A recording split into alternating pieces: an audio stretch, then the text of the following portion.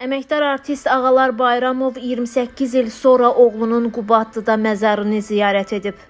Qeyd edək ki, Ağalar bəyin Qubadlının Xocahan kəndində dəfn olunan oğlu Şəhriyar 1991-ci ildə faciəvi şəkildə dünyasını dəyişib. Allah rəhmət eləsin. Ürəyimi qəm basıb. Güləndə yalandan gülmüşəm. Oğlum. Şəhriyar. Başını qaldır bir can.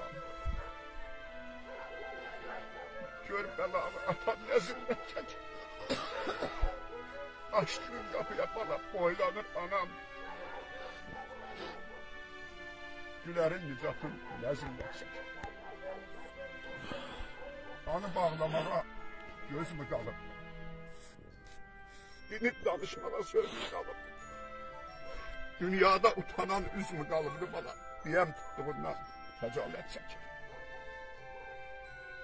Senin bu bir vefa atan 28 yıldan sonra senin yaralı sinedaşını öpmeye gelip bana.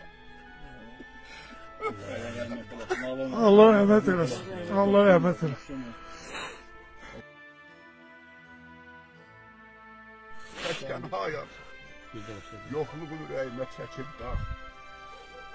Səni deyib gəlmişəm, məni dindir şəhriyar.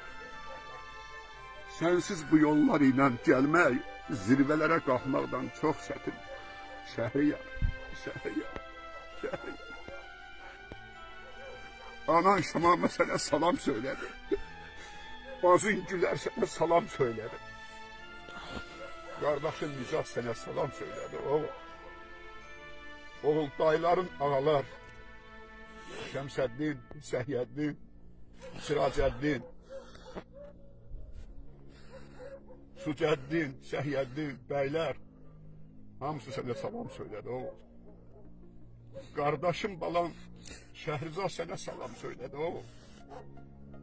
Bacın uşaqları Gülnur, Gülcan,